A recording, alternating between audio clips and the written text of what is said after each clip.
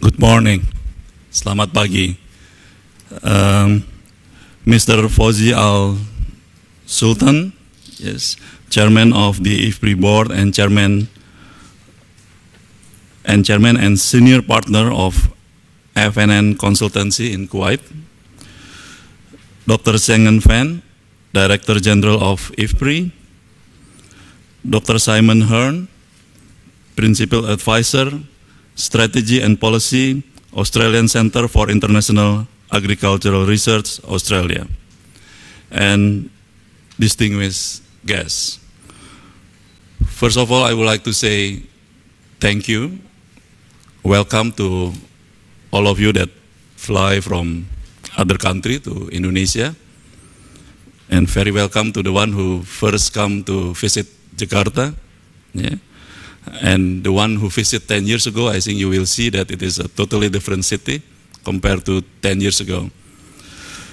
It is a pleasure for me to deliver these opening remarks for our international workshop titled Climate Change, Price Volatility, and Food Security, the Perspective from Southeast Asia. This workshop organized by the IFPRI and jointly hosted by the National Team for the Acceleration of Poverty Reduction and the Ministry of Agriculture of the Republic of Indonesia. Let me begin by sharing with you my observation in, the, in regards to the commodity price volatility in Southeast Asia region and of course in, also in our country. It is very important for us to observe that the South Asia, East Asia region is a very vibrant economy with a very strong economic growth the population of Southeast Asia will soon be exceed 500 million people, of which more than half, which is 200 million, will be living in Indonesia. So this is half of the population will be living in Indonesia. This represents a huge market potentials with equally huge demands. With the rapid regional development of Southeast Asian economy, a new urban middle class will emerge, which will cause changes of demands and priorities. In Indonesia, 50% people live in the urban area and 50, half and half, 50% living in the rural area.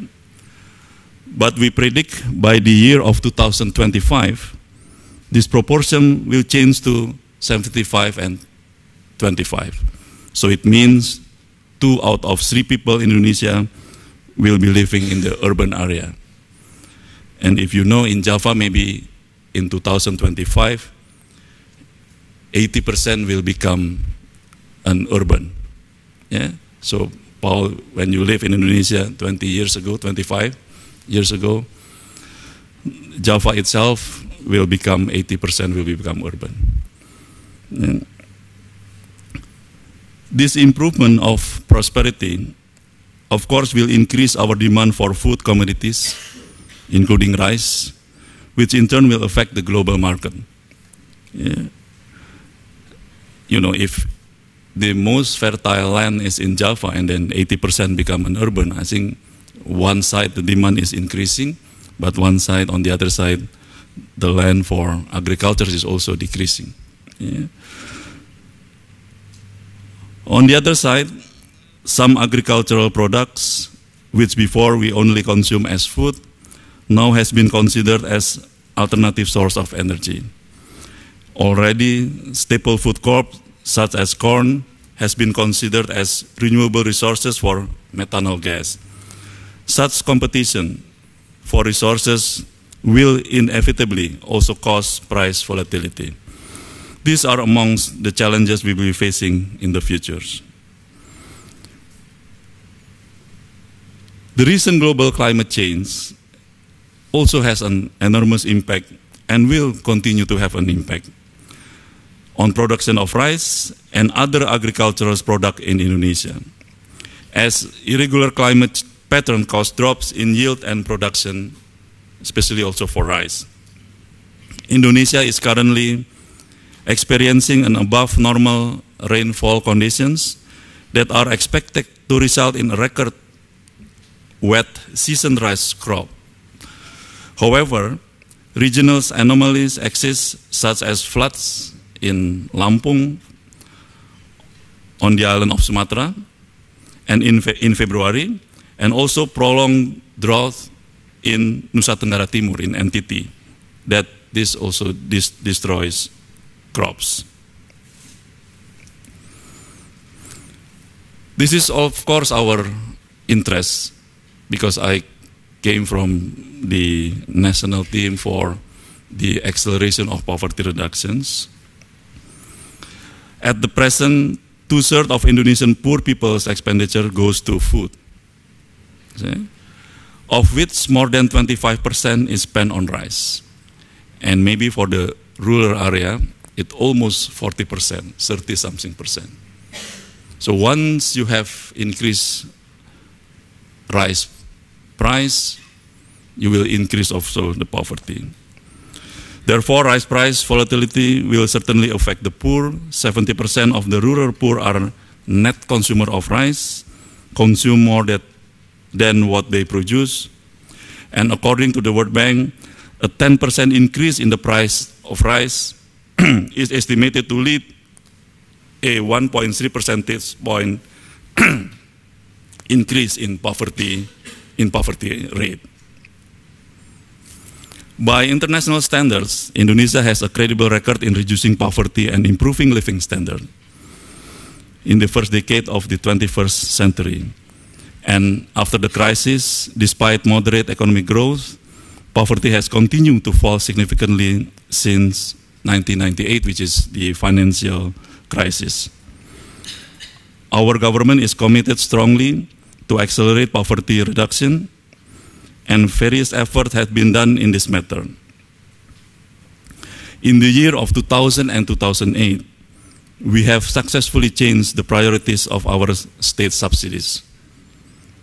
By diverting our oil subsidies, which are, are enjoyed by only a fraction of our people, so the subsidy of fuel, yeah, 40% of them are enjoyed by the 20% of the rich in Indonesia. So the subsidy, only 5% is enjoyed by the poor. So this is very, very unfair. And I, as I mentioned on Sunday meeting, that, you know, for example, the, the, the expenditure for education is only around 3 billion, uh, 3 trillion rupiah. For health is only 20 trillion rupiah, while the subsidy is around 95 trillion. So this is uh, you know, when I think it's very easy if we can get a lot of more money if we can change the subsidy uh, in, in, into subsidy for the poor. And how, how we, do, we did this, we, we, when we increase the price, because, because the, the fuel price is very political in Indonesia. Yeah? The previous president failed to increase the uh, the fuel price. But in 2005, we give direct uh, cash transfers to the poor people. So from the subsidy, I think more than half we translate into uh, what we call it the uh, cash transfers, unconditional cash transfers, the UCT. Yeah? And I own it was a success program I think it was the biggest cash transfers in the world because it involved 20 million households at that time. So we, we prepared it in six months because we, at that time we don't have the, the name and the address of the poor household at that time. So we did the survey very quickly at that time. And after that, every three years we improved the survey. And in 2005, we did the second survey on 2008 now in 2011, on in July, we will do again the survey, and hopefully with a better methodology, we have uh, we try to improve the methodology of the survey. We try to combine the proxy means testing, but also we want to use what we call it the community-based data. So hopefully we will have a better data next year and we can use that for our social protection program.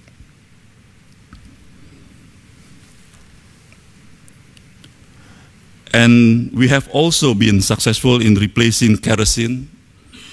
You know, kerosene is, uh, our kerosene is actually is a very good quality kerosene because we call it the jet kerosene. So can you imagine, because we subsidize the jet kerosene, everybody use that for cooking. Actually, this should be used for the airplane and so on. You know, if you change a little bit, you, you can use it as a uh, avtur for the, for the airplane. So it's very waste of resources when you use this kerosene, our good quality kerosene, just simply just for cooking and using, and then you know untuk bakar sampah apa segala macam. This is very waste of resources. Yeah?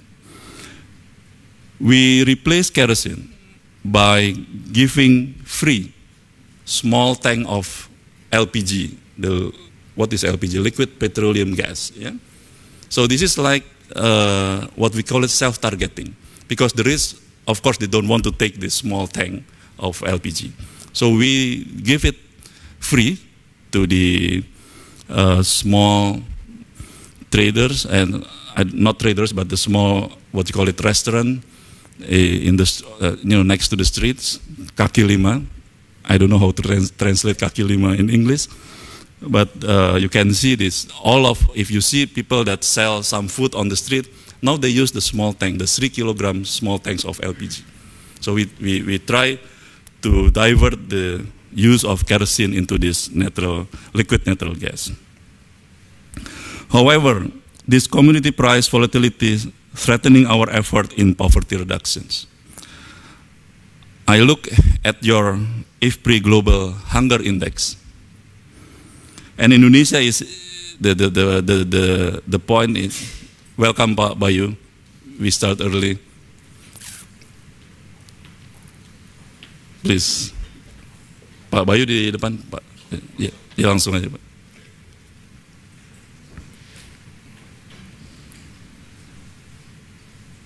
Hmm. Our IFPRI Global Hunger Index in 2010 is 13.2 yeah, next to the Philippines and Vietnam. It has been decreasing. You can look at the pattern, it is decreasing. But unfortunately, it's still in the yellow, what you call it, if we call it yellow zone. So we need to alert about, about this. Yeah? So it is very timely that we have this international workshop today. We have agreed a great expectation from this workshop. We want to listen from all of you to learn what has been done internationally. We want to hear, we want to learn about how to strengthen our food security, how to increase our agricultural productivity. In Indonesia, people who works, people that works, but still living under the poverty line, most of them are working in the agricultural sectors. So productivity is a key if we want to increase the welfare of these farmers, these people that work on the agricultural sectors. We want also to hear about how to develop a small farmer value chains, how to mitigate climate change, how to rebuild region which has been struck by a natural disaster, how to develop a comprehensive early warning system including sharp rises in food prices. From my perspective, I, we want to hear how to develop an innovative safety nets for farmers, such as harvest insurance schemes, whether it is appropriate in Indonesia or not, yeah. How to develop a more integrated social protection program if we have this price volatility. As the Executive Secretary of National Team for the Acceleration of Poverty Reduction, I'm very interested to hear more from the distinguished guests and experts whom are gathered here today for this international workshop. It is our sincere wish that today we will be able to learn from you. Before I finish my remarks, I would like to thank IFPRI, the Ministry of Agriculture, and also all of you that work behind the scenes to make today's workshop a success. Thank you for all, all of you. Thank you.